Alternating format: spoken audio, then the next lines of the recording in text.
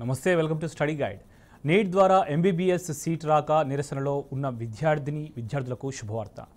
ఎలాంటి ప్రవేశ పరీక్ష లేకుండా కేవలం ఇంటర్మీడియట్ మార్కులు నీట్ మార్కుల ఆధారంగా నేరుగా విదేశాల్లో ఎంబీబీఎస్ చదివే అవకాశాలను కల్పిస్తుంది ఎంపీఆర్ గ్లోబల్ ఎడ్యుకేషన్ సంస్థ. మధ్యతరగతి ప్రజలకు సైతం అందుబాటులో ఉండే సెమిస్టర్ వైజ్ ఫీజు స్ట్రక్చర్తో అంతర్జాతీయ నాణ్యతా ప్రమాణాలు గల మెడికల్ యూనివర్సిటీలో అడ్మిషన్ కల్పిస్తోంది. మరి ఈ సంస్థ అధికార ప్రతినిధిగా వ్యవహరిస్తున్నారు మన ఎంపీఆర్ గ్లోబల్ ఎడ్యుకేషన్ నుంచి డాక్టర్ ప్రదీప్ రెడ్డి గారు. ప్రస్తుతం వారు ఇప్పుడు మనతో పాటు మన స్టూడియోలో ఉన్నారు. మరి వారిని అడిగి అనేక విషయాలు కూడా తెలుసుకుందాం. నమస్తే అండి. Welcome to our studio. Pradeep Reddy గారు ముందుగా చూస్తే మన దేశంలో దాదాపు కొన్ని పదహారు లక్షల మంది విద్యార్థులు నీట్ ఎగ్జామ్ రాస్తే కేవలం వాళ్ళకు డెబ్బై వేల మెడికల్ సీట్లు మాత్రమే అందుబాటులో ఉన్నట్టు మనకు సమాచారం. మరి ఈ నేపథ్యంలో మిగతా విద్యార్థులు ఎవరైతే విదేశాల్లో కావచ్చు ఇక్కడ కావచ్చు వైద్య విద్యను అభ్యసించాలని కలలు కంటున్నారు. సో అలా అలాంటి వారికి విదేశాల్లో ముఖ్యంగా తక్కువ ఖర్చుతో కూడినటువంటి లేదంటే నాణ్యతమైనటువంటి వైద్య విద్యను పొందాలంటే ఎలాంటి ఒక మార్క్ ఉన్నటువంటి యూనివర్సిటీని వాళ్ళు ఎంచుకోవాలి? ముఖ్యంగా మీ ఎంపీఆర్ గ్లోబల్ ఎడ్యుకేషన్ సర్వీసెస్ నుంచి ఒక అవేర్నెస్ ప్రోగ్రామ్ కూడా ఎంబీబీఎస్ అబ్రాడ్ ఎడ్యుకేషన్ అని కల్పిస్తున్నట్టు తెలుస్తుంది. దాని గురించి కూడా డీటెయిల్గా చెప్తారండి. యాక్చువల్ నమస్తే అండి. నేను ముఖ్యంగా అసలు ఈరోజు ఈ ఇంటర్వ్యూ చేయడానికి కారణం కూడా ఏంటంటే ఫస్ట్ విద్యార్థులు విద్యార్థినులు అందరూ కలిసి వీళ్ళు నీట్ రాయడం వల్ల చాలామంది క్వాలిఫై అవ్వకపోవడం లేదా క్వాలిఫై అయిన వాళ్ళకి సీట్ దొరకకపోవడం ప్లస్ ఆ కట్ ఆఫ్ మార్క్కి సీట్ రావకపోవడం ఇలాంటి సిచ్యువేషన్ చాలామంది స్టూడెంట్స్ ఫేస్ చేయడం వల్ల చాలామంది ఎంబీబీఎస్ చేయలేక వాళ్ళ ఒక గోల్స్ని రీచ్ అవ్వలేక చాలామంది డిసప్పాయింట్ అయిపోయి లేదంటే ఇంకేదన్నా వాళ్ళకి ఇష్టం లేని కోర్స్ చేయడం వల్ల వాళ్ళు సాటిస్ఫై అవ్వకపోవడం తర్వాత మళ్ళీ అది చేసిన తర్వాత మళ్ళీ ఎంబీబీఎస్కి చేయాలని ఆలోచన రావడం ఇలాంటి రాంగ్ డెసిషన్స్ తీసుకోవడం కూడా అది కరెక్ట్ కాదని నేను ప్రతి ఒక్క స్టూడెంట్కి పేరెంట్కి చెప్పాలనుకుంటున్నాను. ఎందుకంటే ఈరోజు కూడా నేను ఈ ఇయర్ ఒక మన అకాడమిక్ ఇయర్ అడ్మిషన్ చేసే టైంలో చాలామంది పేరెంట్స్ నా దగ్గరికి వచ్చి మా పాపది ఫార్మసీ అయిపోయింది లేదా డీఫామ్ అయిపోయింది. మేము మళ్ళీ ఇప్పుడు ఎంబీబీఎస్ చేయాలనుకుంటున్నాము. మేము ఒకసారి మిస్టేక్ చేసాము లేదా long terms two long terms అయిపోయింది. సో ఇప్పుడు మాకు మెడిసిన్ చేయాలని ఉంది. అనే ఇలాంటి వాళ్ళ ఒక బాధని నా ముందు చెప్తున్నప్పుడు నాకు చాలా జాలేసింది.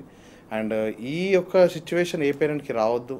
And plus first of all me step తీసుకుని చాలా ఆలోచించి జాగ్రత్తగా తీసుకోవాలి అని నేను ప్రతి ఒక్క పేరెంట్ని రిక్వెస్ట్ చేస్తున్నాను.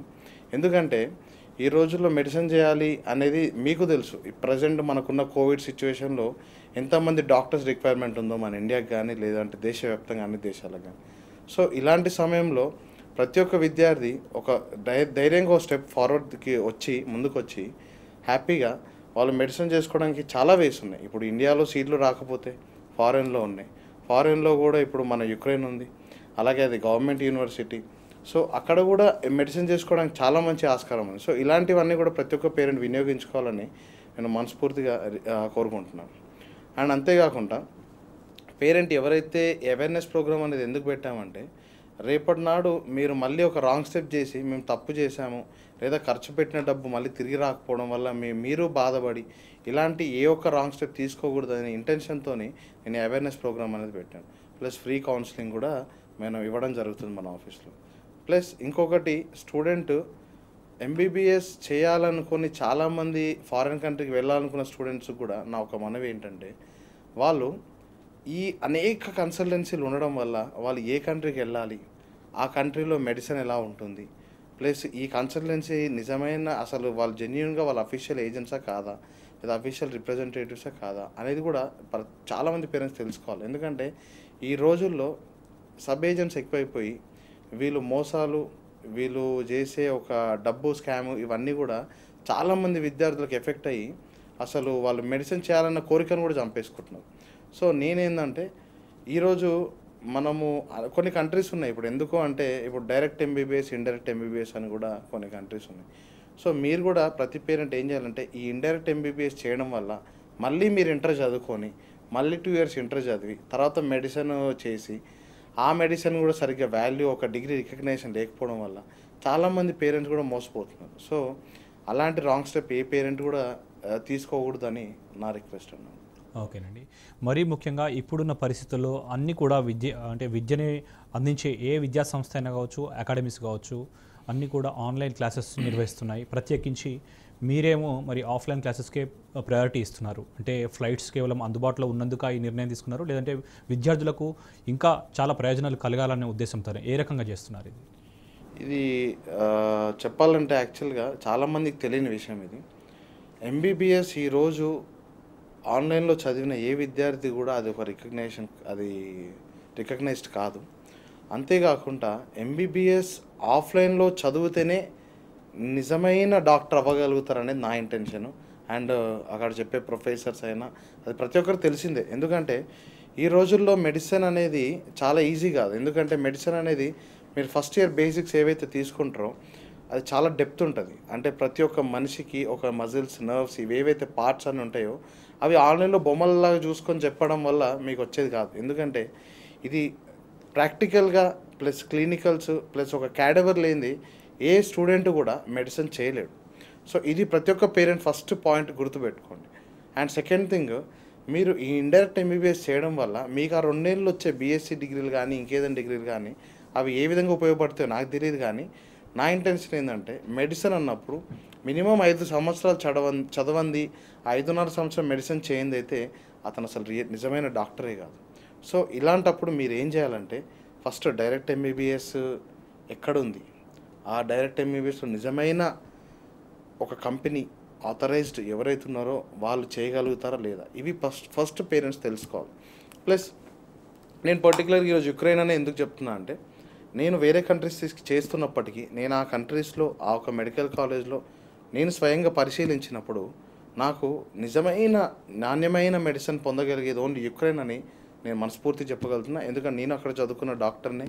నేను చదువుకున్న తర్వాత నేను చాలా హ్యాపీగా ఫీల్ అయింది ఏంటంటే నేను ఒక స్టూడెంట్కి ఏదైతే రిక్వైర్మెంట్ ఇంకా ఫ్యూచర్ ఏదైతే మనం డెవలప్ చేయాలో మనం కూడా ఒక యూనివర్సిటీని రిక్వెస్ట్ చేయడం కానీ లేదంటే మినిస్టర్ని రిక్వెస్ట్ చేయడం కానీ ప్లస్ ఇక్కడ నుండి అక్కడ ఇక్కడ గవర్నమెంట్ అక్కడ గవర్నమెంట్కి ఒక సత్సంబంధాలు ఉండడం వల్ల అక్కడ స్టూ ఇక్కడ స్టూడెంట్స్ కూడా ఈజీగా వెళ్ళడానికి వీసాలు రావడం కానీ లేదంటే అక్కడ ఎడ్యుకేషన్లో అయినా ఏదైనా యూనివర్సిటీకి సంబంధించి కానీ మేము ప్రతి ఒక్కటి దగ్గరుండి స్టూడెంట్కి కానీ యూనివర్సిటీకి కానీ రిక్వెస్ట్ చేయడం జరుగుతుంది. ప్లస్ స్టూడెంట్కి కూడా ఒక మంచి రిజల్ట్ రావాలంటే ముందు నుండి మేము అక్కడ ఇప్పుడు ఎన్ఎంసీ ఇంతకుముందు ఎంసీ ఉండేది మనకి ఎగ్జామ్ ఇప్పుడు దాన్ని ఎన్ఎంసీగా మార్చారు.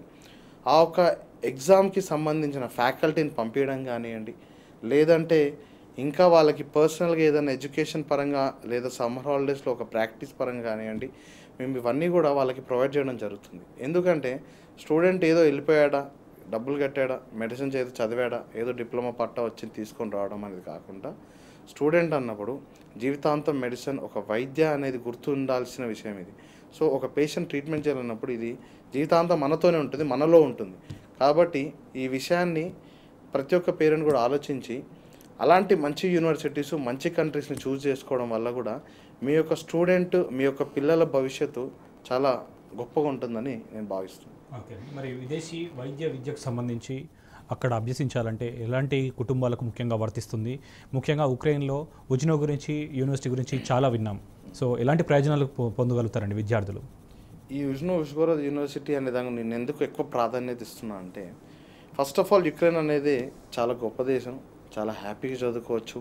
ఎటువంటి ఎఫెక్ట్స్ కానీ ఎటువంటి ఇబ్బందులు కానీ లేని దేశం. అంతేకాకుండా అది ఫీమేల్ డామినేటింగ్ కంట్రీ అయి ఉండడం వల్ల కూడా ఏ ఒక్క మహిళకు కూడా ఇబ్బంది ఉండదు. అంతేకాకుండా ఇక్కడ ఎడ్యుకేషన్ సిస్టమ్ ఎలా ఉంటుందంటే ECTS system plus Bologna process అనేది ఫాలో అవుతుంది. ఈ ఇది చాలా దేశాలు ఫాలో అయ్యే సిస్టమ్. ఇది ఏదో ఒకటి రెండు దేశాలు ఫాలో అయ్యేది కాదు. చాలా పెద్ద యూనియన్. ఇప్పుడు ఏదైతే డబ్ల్యూహెచ్ఓ ఉంది యునెస్కో ఉంది ఇలాంటి ఏదైతే ఉన్నాయో. రికగ్నైజేషన్స్ కూడా ఉన్న యూనివర్సిటీలు ప్లస్ పేరెంట్స్ కూడా అక్కడికి పంపించిన తర్వాత ఎందుకు ఈ దేశం పంపించారు? ఇక్కడ ఎందుకు ఇది యూరోపియన్ మరి వేరే దేశాలు ఉన్నాయి కదా అక్కడికి ఎందుకు వద్దు అంటున్నాం అంటే అక్కడ ఎడ్యుకేషన్ సిస్టము చాలా పర్ఫెక్ట్గా క్లాస్కి ఒకటి నుండి పన్నెండు మంది స్టూడెంట్స్ ఉండడం ప్రాక్టికల్స్ దగ్గరుండి ప్రొఫెసర్ టీచింగ్ చేయడం కానీ లేదంటే స్టూడెంట్ కూడా రిసీవ్ చేసుకునే విధానం అతనికి అర్థమయ్యేది ఫ్యాకల్టీ కూడా చాలా పర్ఫెక్ట్గా ఉంటుందని నేను భావిస్తున్నాను. అంతేకాకుండా స్టూడెంట్ కూడా అక్కడికి వెళ్ళిన తర్వాత ఈ మిగతా దేశాలతో పోలిస్తే ఈ దేశం మాత్రమే ఇప్పుడు ఫ్లైట్స్ నడవడం జరుగుతుంది. అండ్ ఇక్కడ సెంట్రల్ గవర్నమెంట్ యూనివర్సిటీస్ ఈ సెంట్రల్ గవర్నమెంట్ గవర్నమెంట్ యూనివర్సిటీస్లో పేద కుటుంబమా గొప్ప కుటుంబమా మీడియం మిడిల్ క్లాస్ అనేది అలాంటి భావాలు ఏమి ఉండవు. ఎవరైనా జాయిన్ అవ్వచ్చు. అండ్ ఈ యూనివర్సిటీలో స్టూడెంట్స్ ఒకవేళ పేద తరగతి కుటుంబాల నుండి వచ్చిన వాళ్ళు ఉంటే మన కంపెనీ ద్వారా కానీ యూనివర్సిటీ నుండి కానీ వాళ్ళకు కొన్ని స్కాలర్షిప్ అనేది స్టైఫన్ అనేది ప్రొవైడ్ చేయడం జరుగుతుంది. ఇవి కూడా స్టూడెంట్ ఉపయోగించుకొని బాగా చదివితే రేపటి నాడు ఫ్రీ పీజీ చేసుకోవడానికి ఫ్రీ పీజీ కావాల్సినవన్నీ కూడా ఏర్పాట్లు మన యూనివర్సిటీ చేయడం జరుగుతుంది. సో ఇది ప్రతి ఒక్క స్టూడెంట్ కూడా ఇది గుర్తుపెట్టుకోవాలి. ఎందుకంటే లైఫ్ మళ్ళీ ఒకసారి తప్పటట్టు చేసినాక తిరిగి చూస్తే మీకు మళ్ళీ ఆ ఒక పాస్ట్ అనేది యూజ్ ఉండదు. So future is more important so ప్రాపర్గా ప్లాన్ చేసుకోవాలని నేను అనుకుంటున్నాను. మరి మీతో మాట్లాడేందుకు కెనడా నుంచి వెంకటరమణ గారు లైన్లో ఉన్నారు. నమస్తే అండి. నమస్తే అండి. వెంకటరమణ గారు ఎంపీఆర్ గ్లోబల్ ఎడ్యుకేషన్ నుంచి డాక్టర్ ప్రదీప్ రెడ్డి గారు ఉన్నారు. మాట్లాడండి మీ డౌట్ ఏంటో అడగండి. హలో. నమస్తే అండి వెంకటరమణ గారు. చెప్పండి. నమస్తే సార్ అది మాకు మా ఒక అబ్బాయిని ఎంబీబీఎస్ అబ్రాడ్లో జాయిన్ చేయాలనుకుంటున్నాము. వాళ్ళ అబ్బాయిని పంపించాలనుకుంటున్నారు. ఓకే. హలో? చెప్పండి చెప్పండి. కొంచెం గట్టిగా మాట్లాడండి. మీ డౌట్ ఏంటో అడగండి పూర్తిగా. వాళ్ళ అబ్బాయిని అబ్రాడ్కి పంపించాలనుకుంటున్నారు. సో గైడ్ లైన్స్ ఏంటని అడుగుతున్నారండి. యాక్చువల్గా ఇప్పుడు కెనడా నుండి కానివ్వండి ఆల్రెడీ మన యూనివర్సిటీలో Ecuador Canada Peru Colombia Morocco Nigeria and Uzbekistan ఈ యొక్క దేశాల నుండి చాలా దేశాల నుండి ఈ యూనివర్సిటీలో చదవడం జరుగుతుంది. అండ్ ముఖ్యంగా అతి స- అతి ఎక్కువ సంఖ్యలో స్టూడెంట్స్ ఉన్న దేశం ఏంటంటే ఇండియా అనొచ్చు. సో ఇండియా స్టూడెంట్స్ ఎక్కువ ఉండడం వల్ల కూడా ఈ యొక్క ఫారెన్ స్టూడెంట్స్ కూడా వీళ్ళందరూ కెనడా నుండి కానీ యూఎస్ నుండి కానీ చదువుతున్న విద్యార్థులు ఉన్నారు. ప్లస్ వాళ్ళు చదువుకొని యుఎస్ఎంఎల్ఏ రాసి లేదా ఆ దేశాలలో వాళ్ళకు కావాల్సిన ఎగ్జిట్ ఎగ్జామ్స్ క్లియర్ చేసుకొని కూడా అక్కడ డాక్టర్గా చేస్తున్న విద్యార్థులు చాలామంది ఉన్నారు. సో దాంట్లో మీరు తప్పకుండా మెడిసిన్కి పంపించవచ్చని చెప్తున్నాను. అంటే మీ ఎంపీఆర్ గ్లోబల్ ఎడ్యుకేషన్ని సందర్శించాలంటే ఏమైనా డాక్యుమెంట్స్ క్యారీ చేయాలా? ఏమని చెప్తారు? పేరెంట్స్ కానీ స్టూడెంట్స్ కానీ అవేర్నెస్ ప్రోగ్రామ్స్ సంబంధించి? నాకు స్టూడెంట్ ఒకసారి నన్ను సంప్రదించాలనుకుంటే ఆఫీస్కి వచ్చినా పర్లేదు లేదా త్రూ కాల్ అయినా పర్లేదు వాళ్ళు వచ్చే ముందు వాళ్ళ ఒక డాక్యుమెంట్ ఏదైతే ఇంటర్ కానీ నీట్ కానీ క్వాలిఫై మార్క్స్ ఏదైనా ఉంటే అది నాకు వాట్సాప్ చేసినా పర్లేదు. ప్లస్ అంతేకాకుండా దానికి కావాల్సిన డౌట్స్ యూనివర్సిటీ డీటెయిల్స్ కూడా నేను ఆన్లైన్లో ఇస్తాను. అంతేకాకుండా ఈ ఒక వేళ మీకు ఇంకేమైనా ఎక్స్ట్రాడినరీగా ఏమన్నా రిక్వెస్ట్ కానీ లేదంటే బ్యాంక్ లోన్స్ అని ఇప్పుడు లేదా స్కాలర్షిప్స్ చాలా మంది పేరెంట్స్ ఇబ్బంది పడుతున్నారు. కావాలని ఏదో హెల్ప్ చేయండి. అని ఒక గైడెన్స్ కోసం. సో అలాంటప్పుడు మీరు ఆఫీస్కి వచ్చి నాకు సంప్రదిస్తే మేము సహాయం చేస్తాం. ఓకే అండి. మరి ఫ్యూచర్లో విద్యార్థులకు ఎంబీబీఎస్ అయిపోయిన తర్వాత మరి పీజీ కంటిన్యూ చేయాలంటే వారికి మీరు ఇచ్చే సూచనలు ఏంటి? మరీ ముఖ్యంగా ఎంపీఆర్ గ్లోబల్ ఎడ్యుకేషన్ ఇన్స్టిట్యూషన్కి సంబంధించి మిగతా కన్సల్టెన్సీస్తో పోలిస్తే ఎలాంటి డిఫరెన్స్ ఉంది? ఎలాంటి సర్వీసెస్ని మీరు ప్రొవైడ్ చేస్తున్నారు? యాక్చువల్గా మిగతా కన్సల్టెన్సీతో నేను పోలిస్తే అంటే ఫస్ట్ థింగ్ ఏం చెప్తా అంటే ఎంబీబీఎస్ అన్నప్పుడు వాళ్ళు పంపించే కొన్ని దేశాలు ఉన్నాయి ఇప్పుడు. ఏది ఇండైరెక్ట్ ఎంబీబీఎస్ అను లేదంటే ఆరేళ్ళు అని చెప్పి ముందు ఐదేళ్ళు అని చెప్పడం. ఇలాంటి దేశాలు ఇలాంటి కన్సల్టెన్సీలు ఏం చేస్తున్నారంటే ఈ మధ్యకాలంలో అతి ఎక్కువ అడ్వర్టైజ్మెంట్ చేస్తున్నారు. వాళ్ళు కూడా ఏంటంటే వాళ్ళు చేసే అడ్వర్టైజ్మెంట్ వాళ్ళు చేసే ఒక రాంగ్ వే ఒక రాంగ్ గైడెన్స్ కూడా అది కరెక్ట్ కాదని నేను చెప్పాలనుకుంటున్నాను ఎందుకంటే యుక్రెయిన్లో లేదంటే రష్యాలో చదువుతున్న విద్యార్థులు చాలా సక్సెస్ఫుల్గా డాక్టర్స్ అయి రావడం కానీ లేదంటే ఇండియాలో ప్రాక్టీస్ చేయడం కానీ లేదంటే హాస్పిటల్స్లో చూడడం కానీ మీరు చూస్తున్నారు. కానీ ఆ ఒక్క దేశాలు ఇప్పుడు ఫిలిపిన్ లాంటి దేశాలు ఇలాంటి దేశాలలో కూడా ఏంటంటే ఆ ఫ్లడ్స్ అను లేదంటే ఈ ఇండైరెక్ట్ ఎంబీబీఎస్ అను ఇలాంటి ఇబ్బందులు ఉండడం వల్ల కూడా స్టూడెంట్కి తెలియదు ఇప్పుడు. ఏదో చెప్తున్నారు కన్సల్టెంట్ ఏదో చెప్పాడు అతను ఒక హాఫ్ నాలెడ్జ్తో ఏదో సబ్ ఏజెంట్గా పనిచేస్తారు వాళ్ళ హాఫ్ నాలెడ్జ్తో ఏదో ప్రమోట్ చేసామా ఏదో డబ్బులు సంపాదించుకున్నామా అనే పనిలోనే వాళ్ళు ఉన్నారు కానీ మరి స్టూడెంట్ భవిష్యత్ ఏంటి? రేపు అన్నాడు ఎంబీబీఎస్ అయిపోయినాక ఫ్రీ పీజీ ఎలా చేయాలి? ఆ ఫ్రీ పీజీలో కూడా స్టూడెంట్ మరి కరెక్ట్గా రికగ్నైజ్ ఉంటుందా లేదా? ఎలా అనేది ఒక ప్రాపర్ గైడెన్స్ లేకుండా ఏదో పంపించేసాము అయిపోయింది.